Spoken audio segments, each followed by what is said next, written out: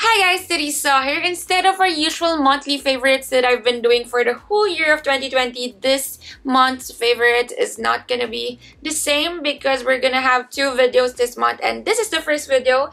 In this video, we're gonna look at how much I spent in Lazada for the whole 2020. So I have here my phone and my iPad so that we could compute here in the iPad and we could look at my purchases here in the cell phone. So let's start. I'm really so nervous. Baka pag nakita ko yung how much I spent, hindi na ako gagastos next year. So, eto na. Bubuksan na natin ang orders, my orders in Lazada. Ito, view all orders. Ang dami! Ito ba to? Ba't ang dami, girl? My gosh. My gosh. Meron pa. Ha? Ang dami. Ayan, ito. Okay, yung unang purchase natin this year was made in August. Kasi guys, the whole time I was in Manila, I don't really use Lazada or Shopee. But when I went here in Pampanga, I used everything now because I can't go out. Ito yung panahon na wala talaga. We were not going out of the house. So, here, everything's in Lazada and everything online. The first thing that we ordered has a total of 6809.50. Tingnan natin, asa na ang calculator. Grabe, first purchase, grabe na. 6809.5. Dito sa purchase na to, we have Face Republic products, Oxycure products, and lens cap. Nawala kasi yung lens cap ko ng pamangkin ko. So, I had to buy one. And yung Oxycure products and Face Republic products, I really wanted to try those brands so bad. So, I got everything from their line. So, hindi ko pa rin nagagawa yung review video ko because this is skincare and I really don't want to um, include all the products in my skincare na mabilis. I want to include them pa konti-konti and see how its performance is with my skin. So, yun. Um, I will soon, soon, soon review all those products. But there, yun yung unang purchase natin sa Lazada. And yung second is Korean products and pangpatay ng lamok. Kasi dun sa old house kung saan kami dati, super daming lamok. So, na-frustrate na kami. Bumili kami ng pampatay na lamok amounting 390 pesos and 3 pieces yung binili namin. And meron ako mga Korean products over here. So, the whole order is 1,844 pesos. So, now we have 8,653.50 na And next one is, hindi pa rin kami nakontento dun sa binili kong pampatay ng lamok. Pero it's really nice. Medyo nabawasan naman yung lamok dun sa previous product na tatlong piraso na binili namin. But, meron ako nakita mas mabilis makapatay ng lamok at langaw. So, eto, I bought a mosquito swatter amounting 569 pesos. 489 siya pero may shipping fee. So, 569. Add natin. Tapos, meron tayong JBL headphones. This is the time na super nagsiseryoso na akong mag-edit ng vlogs. And nasisira na yung earphones ko na pwede sa laptop. So, bumili ako sa JBL since ang mura niya nung time na bumili ako. It's only 359 pesos and bumili ako ng dalawa because the other one I will give away pretty soon. And there, meron tayong 794 pesos na purchase from JBL. And Next one is ito. Meron tayong next purchase, 2675.14.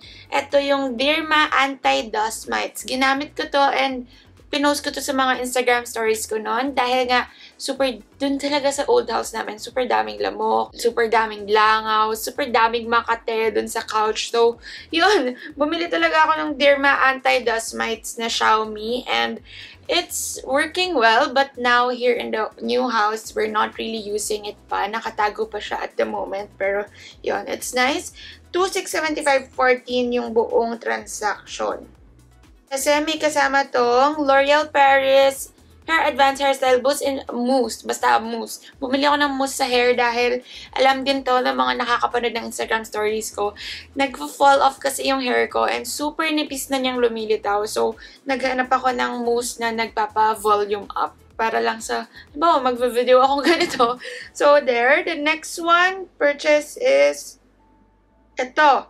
it's this is the best purchase I have in Lazada for the whole year, I think. Kasi ever since binili ko to, Diyos ko, I'm a homebody na. I'm a kitchen buddy. So, yun, bumili ako ng Kiowa KW3815 air fryer, 7 liters. Super dami ko nang na-try dito. Nag-try na kami mag samgyup in the air fryer. Nag-try na ako mag french fries, try na ako mag-bake in the air fryer. Super sarap ng cookies pag binake sa air fryer kasi yung ano niya, outside niya would be crunchy pero yung inside parang chewy, gooey pa rin. So, nice. Ang sarap. Ang sarap ng cookies pag sa air fryer. Try it out if you have a, an air fryer. But there, I really love the Kiowa air fryer kasi 7 liters siya. Ang daming kasha dun sa 7 liters. Ang dami kasing mura online na Oo, mas mura siya dito sa binili kong Kiowa. But Guys, yung iba kasi 3 liters lang, 1.5 liters. Hindi nila nakikita na yung liters kasi it's really important. Dahil like dun sa Kiowa namin na air fryer, pag nagluluto kami ng chicken, kasha ang dalawang malaking chicken. Pag 3 or 1.5 liters, may mga nakikita akong nagpo-post na kailangan pa nilang hatiin yung chicken or isang chicken lang malalagay. So, yun, di ba? Mas sulit pag madami kang maluluto doon kasi it's taking up your electricity since air fryers are electric. So, yun, kailangan dun ka na din sa mas matipid, mas madami kang malalagay. So, yun, 3904, add natin. 3904 ang air fryer. And the next purchase is kind of big, guys. It's 11,701. 11,701. Kasi guys, super happy ko dun sa air fryer ng Kiowa. So, bumili na din ako ng Kiowa oven toaster. Dahil yung toaster namin dun sa old house, nung time na nandun pa kami, sira yung iniikot. Kailangan pang kumuha ng knife para maikot siya dahil wala yung pang-ikot niya. So, yon medyo ang hassle na yun. Gumagana pa naman yung toaster na yon pero bumili na ako ng toaster since naka-sale yung Kiowa nung kailan ba to? 9-9 sale.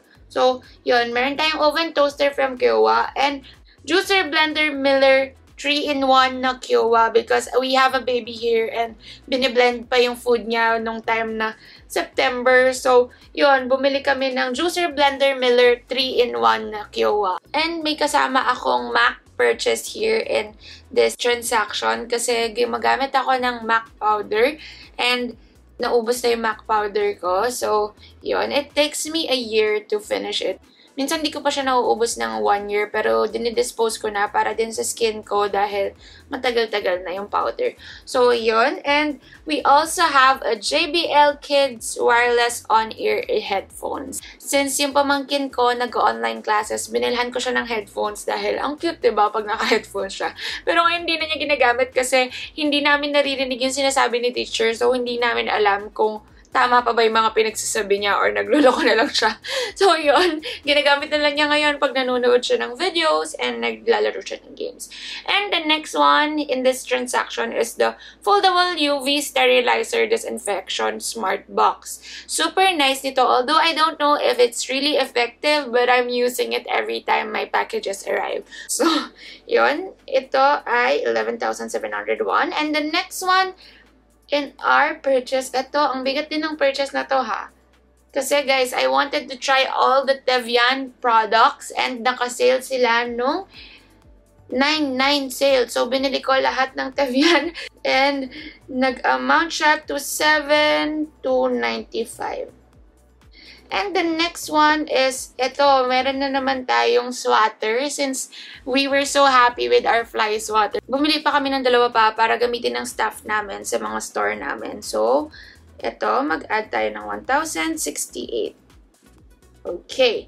And next one is ito guys. Bumili ako ng madaming pulse oximeter because we had to self-quarantine. Meron kaming mini heart attack na nangyari. Nakala namin may COVID sa house namin. So, nag-self-quarantine kami lahat. Kaya, being my praning self, bumili ako ng pulse oximeter ng mga thermometer and binilhan ko din yung lola ko kaya super dami ng purchase ko ng pulse ox and thermometer kasi pinadala ko sa place nila kasi natakot ako for me and my family and the whole family. So pati sila lola pinadalhan ko ng pulse oximeter. So 1674 na pulse oximeter kasi dalawang piraso. Tapos isa pa para kay lola 875 Tapos, bumili ako ng mga thermometer. Gusto ko isa-isa kami. So, bumili ako ng super dami kahit meron na dito sa bahay. So, meron tayong 467 na thermometer and 334 para din kanila lola. And, eto na. Eto, nung time na to, medyo naglilipat na kami dito sa bahay. So, naghahanap na kami ng mga kulang-kulang sa bahay. So, kulang kami ng ceiling fan. So, binilhan ko ng ceiling fan sila daddy para ilagay dito. It is 7,980 kasi yung dalawang ceiling fan sa labas ng bahay. And isang ceiling fan dun sa outdoor dining area namin, which is 4,661. Super mura nito, guys, kasi Hunter na siya and yung isa Westinghouse. We really use those brands in this house. Madami kaming ceiling fan kasi gusto namin yung hindi na bumibili ng mga stand fan. Kasi clutter pa yun eh, nakalagay sa room or what. So, ceiling fan lahat ng rooms namin dito. And medyo nasayangan nga kami kasi itong mga unang ceiling fan na nalagay, binili namin sa hardware. Tapos pagkadating sa Lazada, mas mura yung Westinghouse tsaka Hunter. And next one is ito guys, yung pinamigay natin na Huawei. Meron akong biniling dalawang Huawei. One is yung pinamigay natin recently. And the other one is binigay ko dun sa kasama namin dito sa bahay. Because yung kasama namin dito sa bahay, part na din siya ng family dahil she's been with us since I wasn't born pa. 26 years na siya dito sa bahay na to. So, yun. Uh, binilhan ko siya. So, that's amounting 10 for 20. Wait. 10 for 26 pesos. And the next purchase that we have is Omni adapters, guys. Medyo na naboblema kami sa adapters. Wala kaming mga adapters sa bahay. So, ito, nagbili ako ng super daming Omni adapters. Meron tayong 9 adapters from Omni. So, that's 593. Now, guys, pakita ko na. I think we're halfway. No, we're not yet halfway. Pero pakita ko na sa inyo how much we are now. Nasa 63,670.39. Oh my God, girl. Kailangan mo na mag-isip. Mag-isip-isip ka na. Mag-reflect ka na sa buhay mo, girl. okay, tuloy natin to. Ito, Next one is the Realme Buds Q na pinamigay din natin, which is 1,490 each times 3. So, that's 4,546 in total kasi may shipping pa yata to. So, yun. Next one is this one, Asahi Waffle and Panini Maker. Super aesthetic ng panini maker na to. Ah, kahit ako gusto kong bumili kasi super dami namin waffle maker sa bahay. Pero eto, pinadala ko siya sa nabunot ko ng Christmas party kasi kaming friends, nagbunutan kami. And eto yung nasa wishlist nung nabunot ko. Pero guys, ang excited ko dahil 11-11, binili ko na yung waffle and panini maker niya. So dumating sa bahay niya, November pa lang, yung pang December na Christmas gift. So, yun. Uh, meron na tayong gift sa kanya, which is 1905.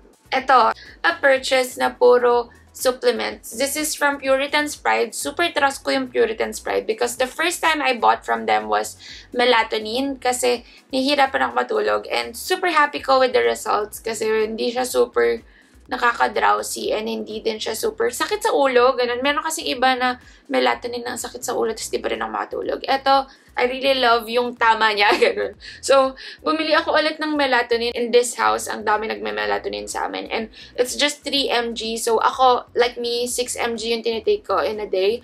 So, medyo magastos, ba diba? So, I bought 5 bottles and 3 bottles of Zinc for Acne. I tried their Zinc for Acne since dati wala naman to sa Lazada nila. Now, it's available. So, I tried it out and I'm really so happy with the results. I think it's working. I, I just think it's working kasi super, kahit nagmamas ako everyday, super minimal lang lumilitaw na acne. So, there, this transaction is 2968.91. Okay. Ha!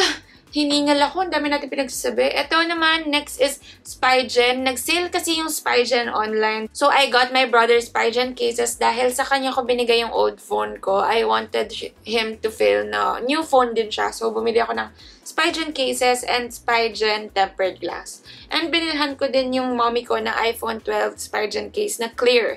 Kasi gusto niya nakikita yung color ng phone niya dahil cute yung pagka-green ng phone niya. So, clear na Spygen yung binili ko. Pag nagsisale yung Spygen online, super duper sale. Isipin nyo, 600, 900, wala man 1,000 sa mga binili kong cases. Eh, yung mga Spygen cases, nasa 1,000 above, di ba? So, yun. Super sulit nitong purchase na to. Total of this purchase is 3269.12. Okay. Nakakabigla na yung numbers, guys. Ayoko na tignan. Next one is Conair Multifunction Garment Steamer. This was placed November 22. Nandito na kami sa house na to. Medyo kasi nag naka-curtain kami sa lahat ng room. And gusto ni mommy nag-steam lagi para hindi sila malukot. So, kailangan namin ng steamer. Super bilis nitong i-plancha pag steamer yung gamit. So, bumili kami ng steamer. Steamer is 9,135 pesos. Oh my God. Laki nun. Tapos, next one is this one. Sturdy metal coat rack stand. Yung kuya ko kasi super dami niyang kupya. Ay, kupya is kapampangan. Super dami niyang cap. so, yon um, nag-request siya sa akin na gusto niya stand yung lalagyanan niya ng cap. So, I got him this sturdy metal coat rack. Pang-coat siya, pero dahil meron siyang space sa gitna and madami siyang hook, super ganda niya for the cap. That's 1842.90. And next one is this Creative Stainless Steel Filter Oil Pot. Yun, lalagyanan lang siya ng oil, pero kasi super good ng ano niya, size niya, and yun, madami kasi kaming fina-fry. And ayaw namin yung nagtatapon lang ng nagtatapon. Pwede naman i-reuse yung oil if hindi pa siya super pangit yung color. So, yun. Super nice purchase nito. 399 pesos ko siya na-purchase. Pero may shipment. So, 465 pesos. Mas mahal kasi to sa ibang online shop. So, hindi ko siya pinurchase sa ibang apps. Dito ako sa Lazada nag-purchase. And the last purchase for the year in Lazada, finally we're in the last one, is 1,325 pesos. It's the Shimmer Tints of Colorette. Kasi gagawa ko ng review in a few days and etong review na to, i-compare natin tong Shimmer Tints with another brand. So, watch out for it. Pero, eto na. Eto na yung last. And, guys, naiiyak ako. Bakit ganito ka, girl? Ito na. Ito na ang total ng Lazada purchases natin for the whole year. Medyo may purpose naman halos lahat ng binili natin. And super content ng mga impulse buy ko kasi ever since I was a mall body when I was in Manila and ang daming impulse buy dahil syempre nakikita mo siya. And online, parang napag-iisipan mo pa kung bibilin mo ba talaga. So, yun. I think medyo understandable naman na din kasi ang dami ko din binili for this house, for this new house, and for our old house. So, I'm so happy I got to ambag. Kasi if you have watched my previous vlogs, I'm a fresh graduate and the whole quarantine, palamunin lang ako dito sa bahay na to. So, thankfully, meron tayong nabigay na ambag sa bahay na to. And, eto na, i-reveal na natin guys how much it is. Ayan guys. We have 89,127.32 pesos in Lazada. Grabe, Lazada. You should thank me. Grabe. Nagigilty na ako. Pero ito guys, I showed you everything and wala tayong tinago. It's really so not nice.